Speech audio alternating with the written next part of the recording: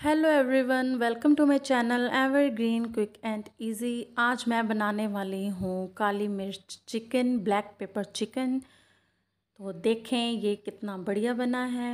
ये जितना देखने में अच्छा लग रहा है, उतना ही ये खाने में टेस्टी भी है। तो चलिए बिना किसी देर के हम अपनी वीडियो स्टार्ट करते हैं। ये मैंने एक किलोग्राम जो चिकन है वो वॉश कर लिया है और इसके ऊपर मैं डाल रही हूँ काली मिर्च। वो कुटी हुई डालूँगी, मैं पाउडर नहीं यूज़ कर रही हूँ इसके अंदर। और साथ में मैं इसमें डालूँगी नमक तो वो अपने टेस्ट के अकॉर्डिंग डालें और लेमन जूस ऐड करूँगी। इसको मिक्स कर लेते हैं। और इसको एक घंटे के लिए हम कवर करके रख देते हैं। चलिए देखिए चेक करते हैं। अब ये एक घंटा हो चुका है। इसको मैं ऐसे ही सीधा गैस पर चढ़ा दूँगी कढ़ाई को। इसी के अंदर, जिसके अंदर मैंने मैरिनेट किया था, उसी में मैं इसको कुक करने वाली हूँ। तो इसके अंदर मैं ऐड कर रही हूँ देसी घी।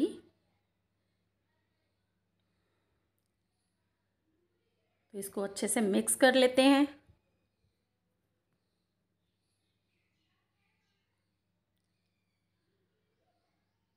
और उधर मैंने उसको ढक दिया है।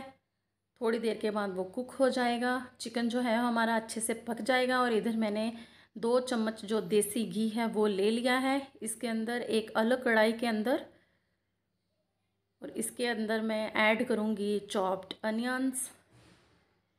तो तीन से चार जो बड़े प्याज हैं वो मैंने लिए हैं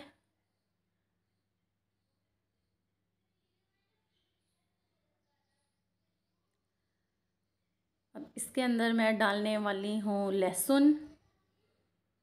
काटने की ज़रूरत नहीं है, आप साबुत ही डाल सकते हैं। और अदरक के कुछ टुकड़े और हरी मिर्ची। हरी मिर्ची बहुत ज़्यादा तीखी नहीं थी तो इसलिए मैंने चार से पाँच ली हैं तो आप अपने टेस्ट के हिसाब से ही डालें।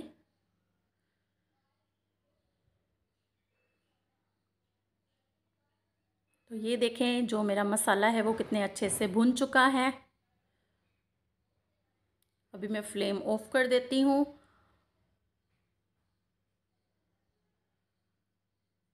और इसको मैं अभी एक मिक्सी के पॉट के अंदर डाल लेती हूँ।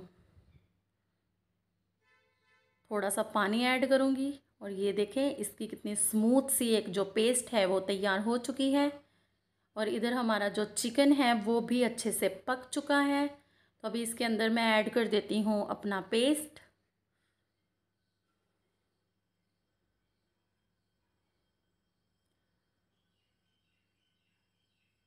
तो अच्छे से मिक्स करने के बाद मैं इसके अंदर ऐड करूँगी चिकन का मसाला और नमक।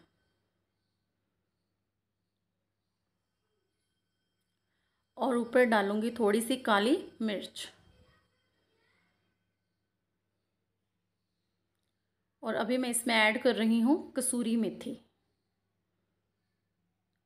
और ये मैंने इसके अंदर ऐड किया है थोड़ा सा दही और थोड़ा सा दूध। और उसके ऊपर मैंने डाला है एक कप पानी। मतलब आधी कटोरी दूध और दही दोनों मिक्स करके और ऊपर आधा कप पानी। तो अभी मैंने पाँच मिनट के बाद इसको फिर से ओपन किया है। ये देखिए, ये रेडी हो चुका है और मैंने सर्व भी कर दिया है।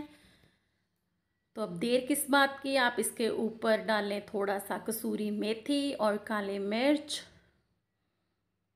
वो मैंने कुटी हुई डाली है काली मिर्च। तो बस अब आप इसको इंजॉय कीजिए रोटी और चावल के साथ और मुझे कमेंट बॉक्स में बताइए कि आपको मेरी ये वीडियो कैसी लगी। So goodbye.